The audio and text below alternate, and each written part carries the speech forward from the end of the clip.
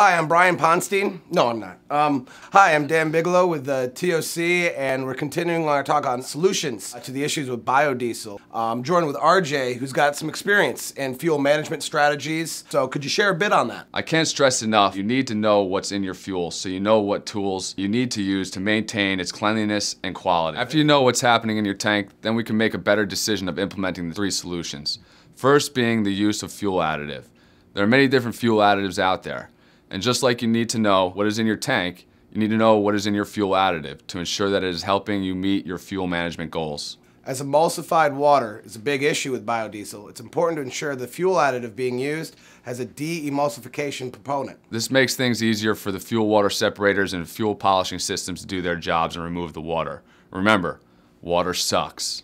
What's the difference between fuel water separators and fuel polishing systems? While their functions are very similar, where they're utilized is different. Typically, the engine manufacturer has already specified primary and secondary inline fuel water separators and or filters. These are installed between the tank and the engine's fuel lift pump, essentially moving the failure point from the injector or injection pump to the fuel water separator.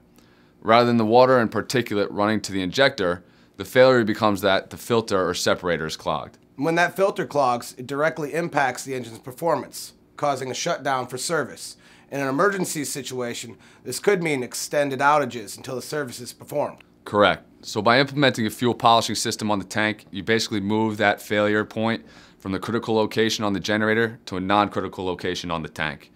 Many people will sub this service out and have a company do this on a monthly, quarterly, or biannually basis. But you recommend to install something permanent to process the fuel regularly? Yes and no.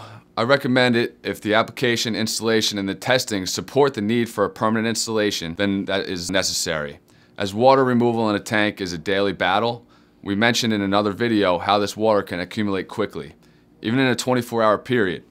Having a system installed on the tank that can work just as quickly is the best way to maintain or improve the fuel cleanliness. So just to recap here, test your fuel, treat your fuel with a fuel additive, ensure you have proper inline filtration, and implement a fuel polishing system or fuel cleaning service on the tank.